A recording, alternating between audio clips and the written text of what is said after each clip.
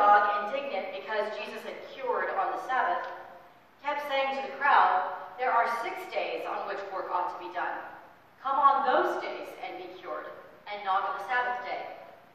But the Lord answered him and said, You hypocrites, does not each of you on the Sabbath untie his ox or his donkey from the manger and lead it away to give it water? And ought not this woman, a daughter whom Satan bound for 18 long years, be set free from this bondage on the Sabbath day? When he said this, all his opponents were put to shame and the entire crowd was rejoicing at all the wonderful things that he was doing. The Gospel of the Lord. Praise to you, O Christ. Please be seated. Grace to you and peace from God our Creator, Christ our Savior, and the Holy Spirit our Sustainer. Amen. First, I have to offer thanks. They're not here, but thanks to Pastor Mark Winnick and to our own Brett Tuominen for leading worship these past three Sundays. I'm so glad you were in such good hands. And now for me, I'm, I'm really grateful to be back. I had a wonderful vacation with my family, but I'm also now really grateful to be back in normal life at Cross and Crown. I love being your pastor. I really, really do. And as your pastor, I consider myself your partner. We all have our own roles, our own ministries, our own individual ways that we feel called to serve here at this church and this community, but I truly do consider myself your partner and you mine. There are a lot of ways to think about partnerships. You know, in this last busy month I've had with my family, one of the things that I did was that my husband and I celebrated our 27th wedding anniversary. It seems like we were married. yeah, it seems like just yesterday that we were married, and already it's, it's been 27 years. And Eric is my closest partner in this life. I'm so blessed to have him. I'm sure you have some close family or some close friends around that maybe you consider a partner in certain ways. Great partnerships, friends and loved ones make everything so much better, don't they? It just eases the load. Literature and movies that are popular in our culture have always showcased famous partnerships. We can think of some like Romeo and Juliet. Who doesn't know that famous, although fated, partnership? We have Sherlock and Watson. We have Batman and Robin, some of my favorites. And then, of course, we have Lucy and Ethel. Y'all know them, right? And then Snoopy and Woodstock. They're also some. When Sophia was young, and I got permission from her to share this story. When Sophia was young, she said to me, Mommy, do you know that dog spelled backwards is Jesus? And I said, Do you mean God? And she said, Yeah, like, you know, same thing, whatever, you know, like, I got it right. I love it. Sometimes I wonder if dogs, our pets, are special partners with God. You all know that I'm a big dog lover. I have a dog named Brandy, and she's so sweet. She's always forgiving when I leave her alone for a few hours in the house, and she seems to know when my family is sick or in need of special care. She's so fun to play with. You might have a dog or a cat or some kind of pet and feel the same way. Well, I can't ask Brandy about her partnership with God, if she has that and what that's about, of course, but I wouldn't be surprised. Well, today's gospel is about the most special, most precious partnership there is, and that is with Jesus, who is God here on this earth, and you. You. This story in the Bible is about you. Now, it doesn't say that. It doesn't say your name or anything. You aren't presented here in this section from the uh, book of Luke, but you might as well be, because every story we read in Scripture about Jesus shows us what God is like. Not just what God was like way back then, but what God is like then and now and all times throughout eternity. And in Scripture, whenever we read about a person, any person, we can see something about what human beings are like then and now and all the time. So every time there's a story about Jesus and a person, we can learn both so much about what God is like, what God cares about, what God does, and about who you and I are, and about our partnership with God. Who are we and who is God in partnership with one another?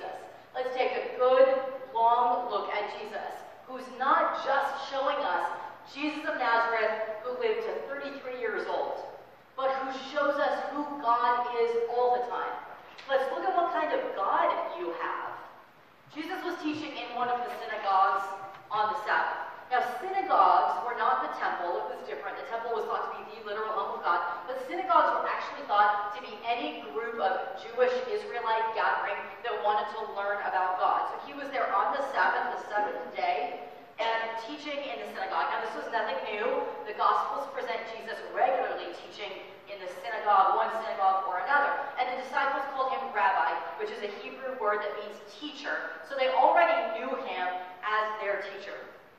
And when he was in the middle of teaching, it's interesting to note wasn't at the end where there was a natural pause in what he was saying. In the middle of teaching, he allowed himself to be interrupted. His agenda wasn't so strong. His purpose wasn't so set in stone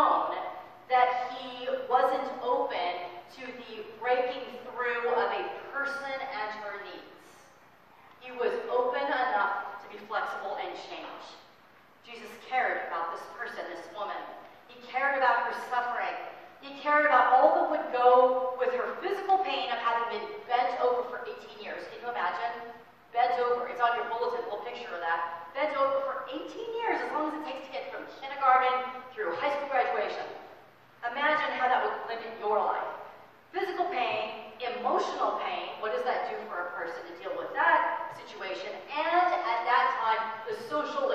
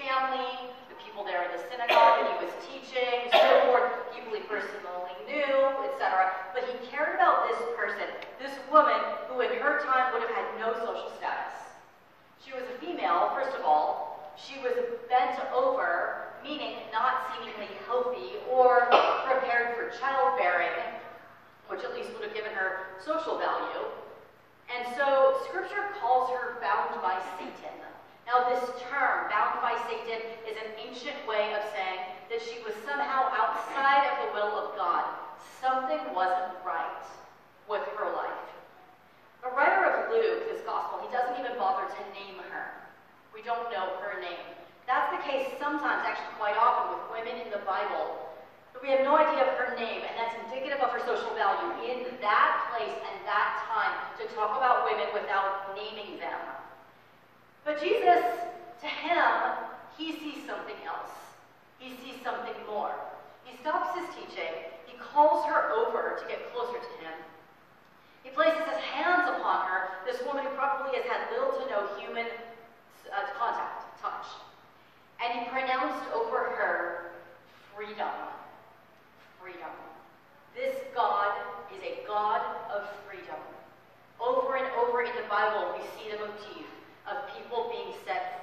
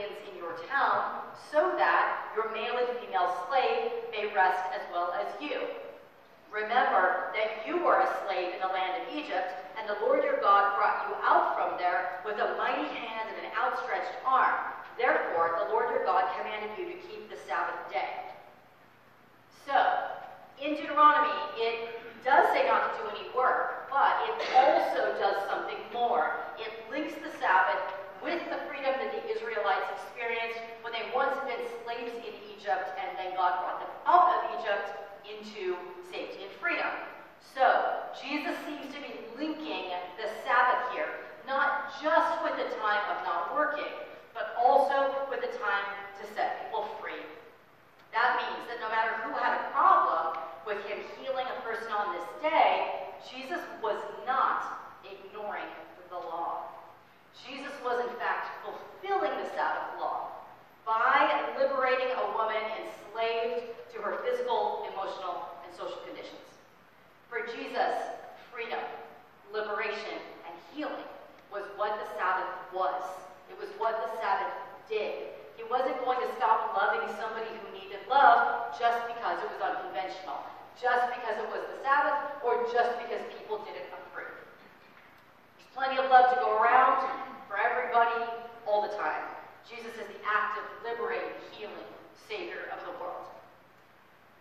to God.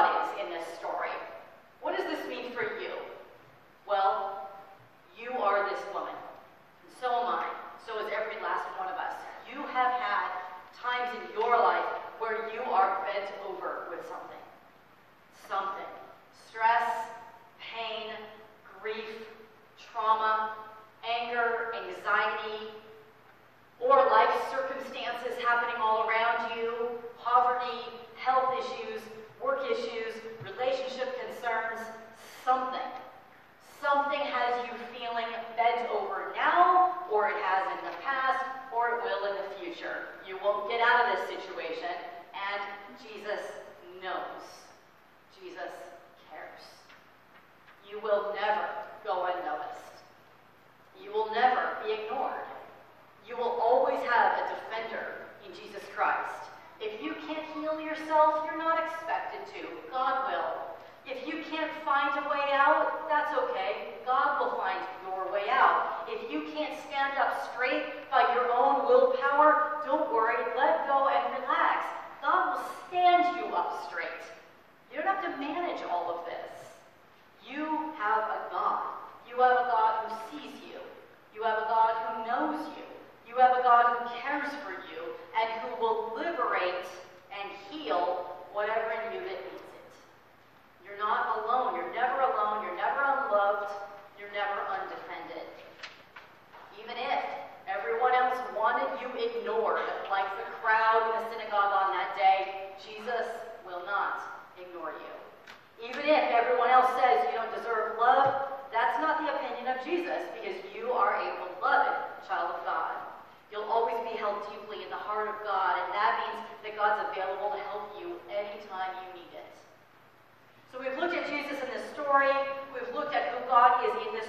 life and in my life and in your life and the life of everybody on the planet. Now, let's look at this person. This person with a name that Jesus knows, but we don't know. This person lets us know something of humanity. Now, it's important as we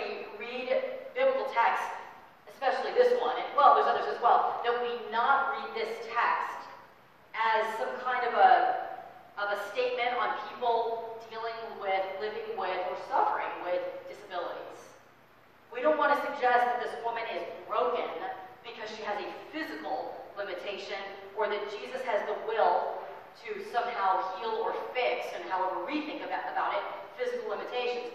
We don't have all the intelligence of the universe. We don't know why people's bodies are made in a multitude of ways and why some people live with what we have commonly called disabilities. So this is not to suggest that something is wrong with people with any number of physical traits. Instead, see this story in the light of the line that calls her a daughter of Abraham, meaning accepted, whom Satan bound which suggests that something was outside of the will of God with her. Now, not all people with bent over backs are outside the will of God. Not all physical or emotional situations should be fixed instantly like Jesus is doing it right then. God has infinite intelligence and knows what needs changing in our lives and what does not. But this particular person, she was outside of the will of God in some way. But here's what's remarkable about her. Despite the fact that this woman couldn't stand up straight for 18 years, she found it within herself to go to where Jesus was. She was bent down, she couldn't look him in the eye, and she had every up hope that things could ever get better for her. And yet she put herself in his presence. That's such a, such a powerful lesson. Let that be a lesson to all of us from her. Don't just pray for healing, expect it. Don't just hope Jesus will see you, expect it. Her positive expectation made it possible for her to even be there in the synagogue on that day in the presence of her healer and her God. So Jesus knew her faith. Jesus knew her positive expectation. Jesus knew he could call on her. Her faith would allow her to accept this healing. So he pronounced her freedom. He placed his hands on her, and she immediately stood up straight, and she looked right into the eyes of God. Can you imagine how powerful that must have been? She had been looking down at the ground for 18 years. And then the second she was healed, she looked right into the eyes of God. Wow, what a healing. But she didn't see God's eyes first and then expect healing. She expected a miracle first when she saw nothing of him in front of her, when she knew nothing, when she felt nothing, only the situation of her being bent over. Her faith in the unseen is incredible. It's a model for us. So she looked into his eyes then when she was healed, and this, in the same sentence it says, she began praising God. Here's the thing there are things that bend our backs, and we can expect healing and we will get it. But there have also been things we've already been healed from. Most profoundly, we have all been healed, each of us, from what we human beings regularly push away, and that is the reality of death. We've been healed from death. We've been healed from the condemning nature of sin. We've been healed from the bondage and the captivity of trying to be our own Savior by following God's law perfectly, and we can't. Instead, we've been saved by a gift, by grace. Not law, not rules, not regulations, nothing that we earned, nothing that we somehow deserved, but grace, God's gift. We have been healed. So, how are we doing on praising these days as she did? Do we look God in the eyes all the time?